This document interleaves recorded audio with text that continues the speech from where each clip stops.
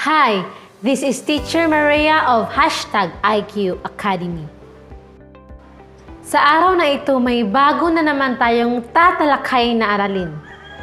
Ito ay tungkol sa simuno at panaguri. Ano nga ba ang simuno at panaguri?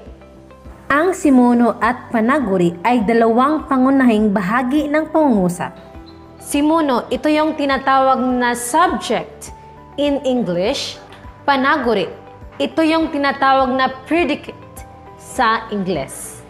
Iisa-isahin natin ito ngayon.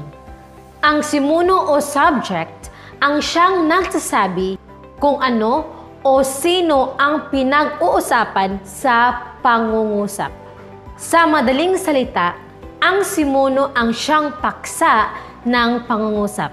Ang simuno ay maaaring pangalan ng tao, puok, pangyayari, hayop at iba pa. Narito ang mga halimbawa. Ang mga lobo ay makukulay. Ang tanong, ano ang makukulay? Sagot, ang mga lobo. Ang paksa o ang simuno ay ang mga lobo. Si Martha ay naghuhugas ng pinggan. Sino ang naghuhugas ng pinggan? Si Martha. Si Martha ang simuno o ang paksa sa pangungusap. Nagtatanim ng palay sina Lucas at Tonyo. Sino-sino ang mga nagtatanim ng palay? Sina Lucas at Tonyo. Ang paksa sa pangungusap ay sina Lucas at Tonyo. Ang panaguri o predicate naman ay isang salita o grupo ng mga salita na siyang nagkukwento, naglalarawan o nagpapaliwanag tungkol sa simuno. Halimbawa, ang mga lobo ay makukulay. Ano ang sinasabi tungkol sa mga lobo? Ito ay makukulay. So, ang panaguri ay ang makukulay. Si Martha ay naghuhugas ng pinggan. Ano ang sinasabi tungkol kay Martha? Siya ay naghuhugas ng pinggan. So, ang panaguri sa pangungusap ay naghuhugas ng pinggan. Nagtatanim ng palay sina Lucas at Tonyo. Ano ang ginagawa ni Lucas at Tonyo? Sila ay nagtatanim ng palay. Ang panaguri sa pangungusap ay nagtatanim ng palay. Kung baga, ito yung nagsasabi kung ano ang ginagawa ng paksa o simuno. Narito ang iba pang mga halimbawa.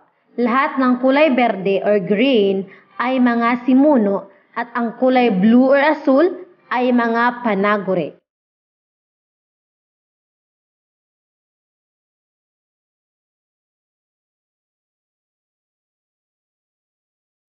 Again, paano mo masasabi kung alin ang simuno at alin ang panaguri? Halimbawa, si Jaime ay matangkad. Ang paksa ay tungkol kay Jaime. Sinasabi na si Jaime ay matangkad. Ibig sabihin, si Jaime ay ang subject o simuno at ang matangkad ay ang panaguri o predicate. If there's an action involved, the subject is usually the one doing the action. Ang simuno ang siyang gumagawa ng aksyon. Halimbawa, umiyak si Jesus. Sino ang umiyak? Si Jesus.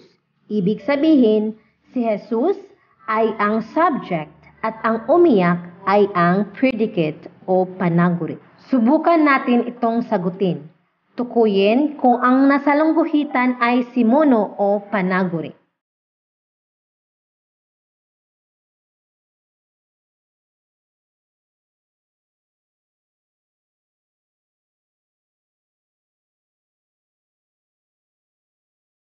Psalm 104 verse 24, O Panginoon, napakarami ng iyong mga gawa. Sa karunungan ay ginawa mo silang lahat. Ang lupa ay puno ng iyong mga nilalang. Salamat sa pakikinig. Sana marami kayong natutunan sa araw na ito.